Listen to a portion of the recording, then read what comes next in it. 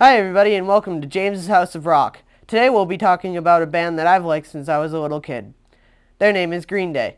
Formed in 1991 by singer-songwriter Billie Joe Armstrong and bassist Michael Pritchard, otherwise known as Mike Dirnt, they were later joined by John Kiffmeyer.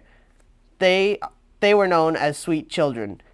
Put into the punk rock kids of the area, they found their launching point at 924 Gilman Street. After many attempts at a gig, as soon as John Kiffmeyer got into the band, they were able to get a gig like that. They were they were founded but at a house party by the by Larry Livermore, the director of Lookout Records. They were later to release four EPs. The first one to be a thousand hours. And then in later they released a compilation of all four EPs called 1039 Smoothed Out Slappy Hours.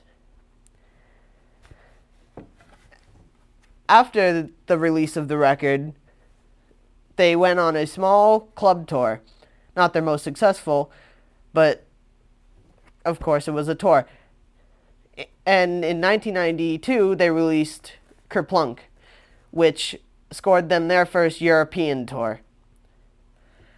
After Kerplunk, they left Lookout Records looking for a new record company. After many attempts at signing themselves, they finally decided to go with Reprise Records, which is a division of Warner Brothers Records. Later on, they released Dookie, arguably one of Green Day's most absolute famous CDs. This scored them five singles and lots of radio play. After that, they released the CD Insomniac, which has a lot of unknown songs, which means that everybody knows the song, just they don't know it's Green Day, including Brain Stew and Jaded. The record after that is Nimrod, one of one of Green Day's most unappreciated albums, even though all of the songs are very well known, just again, nobody knows it's Green Day. After that, Green Day went into a bit of a hiatus because after Nimrod's very low success, they they their record company didn't want them to continue. But Billie Joe still wanted to. After the events of 9/11 and the election of Bush, Billie Joe's mind started thinking about politics, which then created 2004's album American Idiot, which put Green Day back in the spotlight, telling the story about this boy named Jesus of Suburbia finding his way in, in the big world.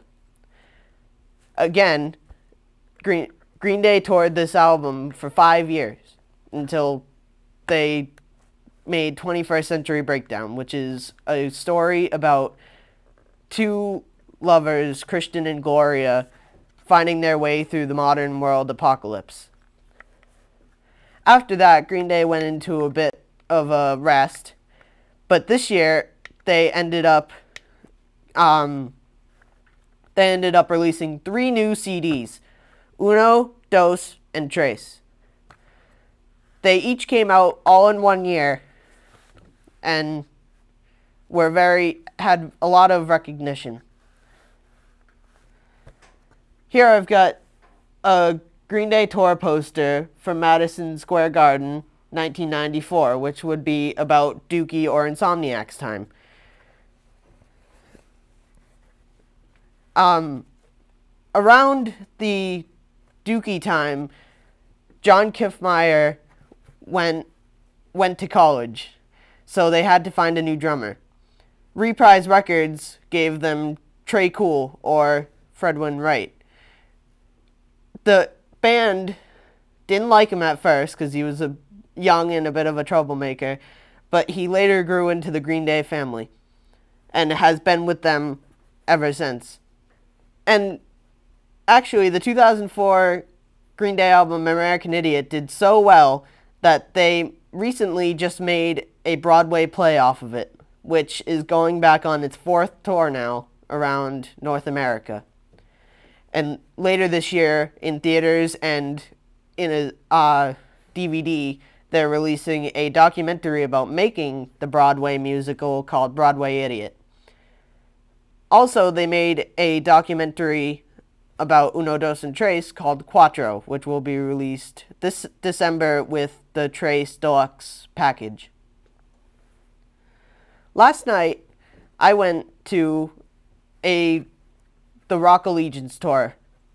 This included All That Remains, HIM or Him, and Volbeat. I actually got to go up on stage with Volbeat and high five them all and talk to them. I they asked all the kids to come up for the last song and I was like the only one that was really into it. I I went on stage, put up my hands like this, and the whole crowd went wild. It was a really good experience. And it was also, you could tell a lot of people were there only for Volbeat because the other two bands played and the crowd was relatively quiet. I mean, you had some people that were fans of them, and then Volbeat came on and the place was packed. So recently, yeah, recently Green Day played at the iHeartRadio Festival, and Billie Joe Armstrong melted down at the the stage director and found himself at rehab, canceling the tour for Uno Dos and Tres. They are currently back on tour. Yeah. We had tickets and we didn't get to go to the. They were playing in Boston. Some of my favorite songs, mostly the radio play songs, but especially for American Idiot and 21st Century Breakdown, you have to listen to them all in order. Uh, so for all you all you music lovers, you got to pick up all of these CDs. So every week or every 2 weeks I'm going to have a trivia question. You can respond to this trivia question at jameshouseofrock at gmail.com or the later to come website jameshouseofrock.weebly.com. And we'll announce who the winner is every episode. Tonight's trivia question is what was the name of Billie Joe Armstrong's guitar that he got when he was 10 and still uses in the present day albums? This is a very hard question for anybody that's not a big fan of Green Day, but an easy question to Google. Um, something else I forgot to talk about is a little bit of Billie Joe's past. He his father died when he was very young of cancer, but before that, he he was a singer since he was very little. When he was 5, his piano teacher got him into a record label to record one song called Look for Love. That which you can look up on YouTube. There were no official videos made for this, but of course, you can hear the song. Mike Dirnt's past was he was an orphan child because both of his parents died when he was very young, so he spent most of his time in foster homes or orphanage. And Billie Joe and Mike became friends when they were teenagers and decided to form Green Day. Oh, I got to see American Idiot, the Broadway musical, and I must say they did a very good job. For when it started, Billie Joe actually performed as the main Jesus of Suburbia, but as they started work on 21st Century Breakdown, another person was later casted, but he still he still showed up at the end to perform um, Good Riddance Time of Your Life, which is on Nimrod, which is one of the very many songs that is played everywhere, but nobody knows it's Green Day. I was really excited when I knew they were coming back with the trilogy because I've, like I said, I've always been a big Green Day fan, and I thought that they wouldn't be coming back for a little while longer, but obviously they've been hard at work, and they still are. Uh, some of my favorite songs off these albums I know I said this earlier, is um, like Let Yourself Go and Kill the DJ on Uno are two songs that one of them gets radio play, but I think they're very well done. For all you um, smaller children or teenagers, you might want to ask your parents before you listen to them because all of them contain explicit content. And some more than others. um, some of my favorite songs off of the other ones is the nine and a half minute song that consisted of five 30 second mini songs called Homecoming. It is track tw 12 on American Idiot. It what Billie Joe what Billie Joe challenged the band to do was was um, write 30 second songs. They each wrote one and then they they they made a couple together. Mike Dirnt sings one of the parts in both a song on 21st Century Breakdown and a part of Homecoming on American Idiot. Yeah. So this song Time of Your Life is, like I said, a very unknown song to Green Day, even though it is played at all homecoming places and graduations and like we had it as a teacher retirement. They had the third grade sing it for our retiring science center teacher in elementary school, which I thought was kind of cool because I would never think that they'd put they'd have Green Day for something like that. Right now, Green Day is on is in Australia touring. They probably are going to take a break after this, and you might not see them for a couple more years. But um, they're going strong, and they're they've been back in the spotlight since American Idiot.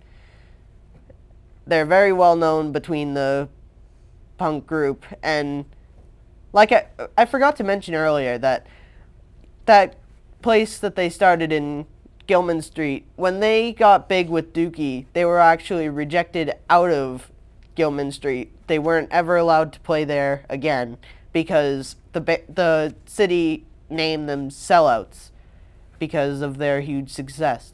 But after Mike Dirnt's side band, the Frustrators, came and played on there, Green Day started to get a bit more reputation and was later allowed to go back to their Gilman Street home, which felt good to the band.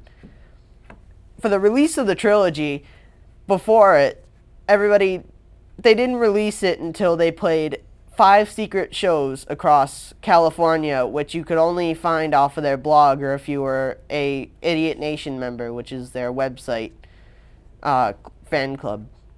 They played these secret shows, playing new material off of these three CDs, and then released it to the public that they were releasing them. Other side projects for for the um, for Green Day is Billie Joe Arms. Well, the, actually, the whole band wrapped, the, wrapped their faces up in duct tape and called themselves The Network, which released one CD called Money Money 2020, which is a very, um, like, hard to find CD. I've looked it up to buy it a couple times because I like a couple songs on there, but it's nowhere to be found. Another side project is the whole band put together a jazz acoustic type of album under the name of the Foxboro Hot Tubs that that band that CD was called Stop Drop and Roll. Um, Mike, uh, Billie Joe and Tré Cool were also part of a band called The Lookouts, and when Billie Joe was a teenager, he was part of Pinhead Gunpowder, which is a very old band at this point. Two comedy artists Weird Al and Richard Cheese have done plenty of parodies and covers off of all of these songs, including Weird Al's um, hit Canadian Idiot off of the title track of America. As for um, trivia questions, or you have any questions on any of the bands I cover, then also feel free to send an email or put it on the blog of the website. So Billie Joe's mom actually worked at a barbecue restaurant in the area where they lived.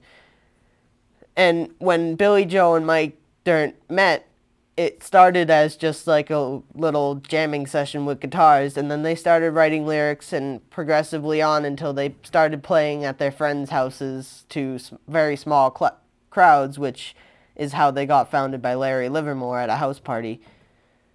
Um, Mike Dirnt never really had a family, which is very sad, except for like foster families, which is never really the same. Tré Cool is actually German. He's um he's from Germany and that's all. Yeah. Like I said before, Mike Dirnt's real name is Michael Pritchard. Billie Joe Armstrong hadn't changed his name and um Mike uh, Tré Cool is really Frederick Wright the third. Um, just recently on the trilogy, they've added a new member to um, Green Day, John White, which for sen- which since American Idiot has been their backup guitarist, but is now an official member of Green Day. Now you can actually see them in the lyrics book. To um, you can see his name in the lyrics book as a guitar and backup vocals. Green Day's official website is greenday.com, obviously. And um, if you want to see who else is on their record label, you want to go to reprise.com. I've never actually seen Green Day in, in concert. Like I said before, mine was canceled. Um, but I'd absolutely love to. Some of the concerts I have been to, though, is Twins of Evil, which was Marilyn Manson and Rob Zombie. Also, my very first concert, which was a surprise to me, was the Uproar Festival, which had Adelita's Way, Godsmack, Staind. Papa Roach was supposed to be there, but his, their drummer, their singer was sick, and Shinedown. Some of the smaller bands were In This Moment, POD, and Deuce, which is from Hollywood Undead, which he left because he thought he could be way better. But obviously, Hollywood Undead is way more famous than him right now. One of, one of the other concerts I've been to was Tenacious D, which is the famous actor Jack Black's band with KG. That was at the Boston House of Blues. Some of the bands coming into town soon are Avenged Sevenfold at TD Garden on October 17th. On October 19th, you can come see Alice Cooper at the Lynn Memorial Auditorium. Thank you very much. I'd also I also actually write and record my own music. I've been trying to work on some work on imitating some of these songs and have to hope to have my own group someday that can be punk rock. Well, thank you everybody, and I will be back um, every other week to talk about a different band. Thank you.